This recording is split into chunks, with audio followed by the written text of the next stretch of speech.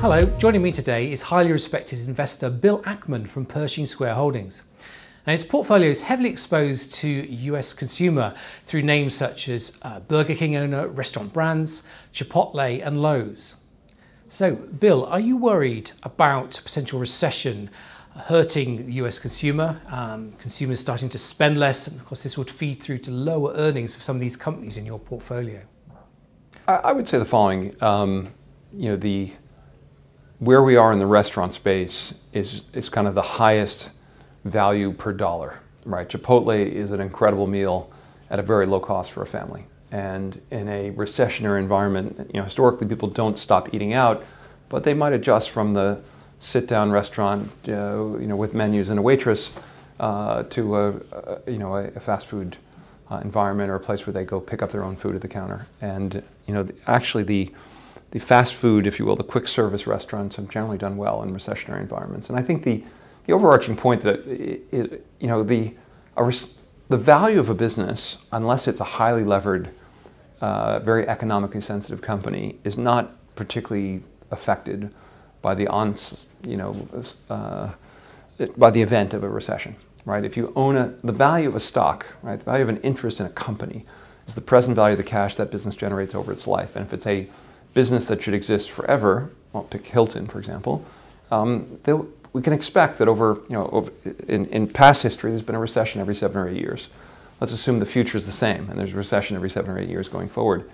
It doesn't, that's kind of factored into the value of the, of the enterprise. The only reason why a recession creates, it destroys value is if you have a company that is highly levered, and then if revenues decline, you know, their cash flow goes negative and they can't, they can't support their debt and they go bankrupt, right? But if you own a very well capitalized business, I, I don't think a recession has a meaningful impact. It might affect that year's revenues and cash flow, but that's just one line item in a, a long spreadsheet of cash flows that you discount, if you will, into the present. But the businesses we own, Universal Music being the largest one, uh, and a good example, you know, people are not going to, we think, cancel their Apple Music subscription because we're in recession. It's the cheapest form of entertainment. It's you know, 10 cent an hour or something like this. Uh, compare that to a movie or a, a, video game, you pay a lot more.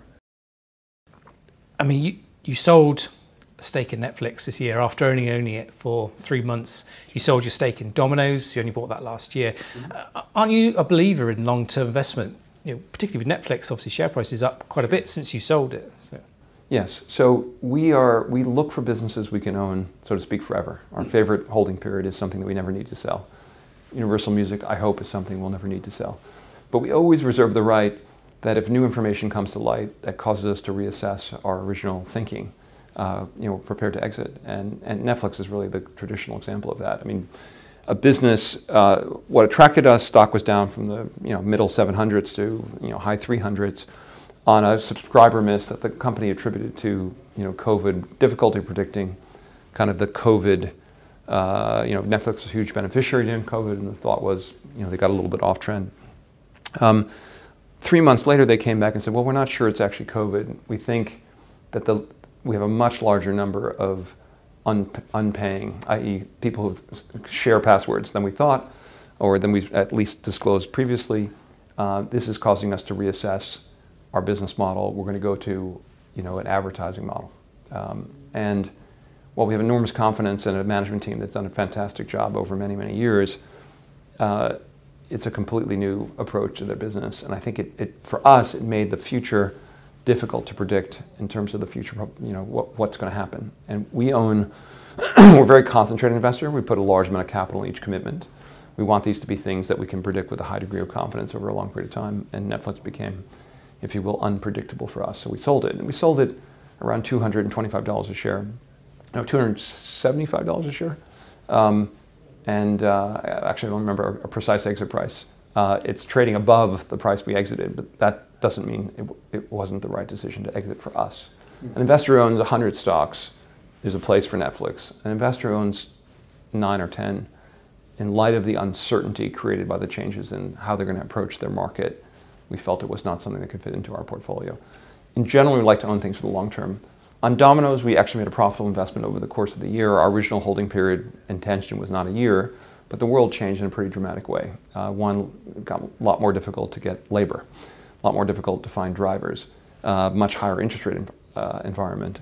And the combination of those factors and the valuation that when we sold made it, in our view, uh, just a less attractive opportunity. We'd rather deploy the cash elsewhere.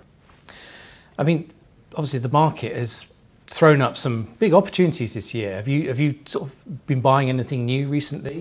So actually, the biggest. So we put our capital in two places. One, we launched uh, one of the more aggressive buyback programs out there. Uh, we're buying in about a million and a half shares. Uh, you know, approaching about three quarters of a percent of our shares outstanding every month. That's a pretty aggressive program. It's about 28% of the average shares outstanding. We think that's the easiest investment that we can make right now. One, we're well capitalized, uh, you know, plenty of cash on hand. Uh, two, we're trading at, a, as you know, a 35% discount to NAV. Uh, uh, three, our companies are trading at, in our view, deep discounts to their intrinsic values. You get the benefit of that double discount.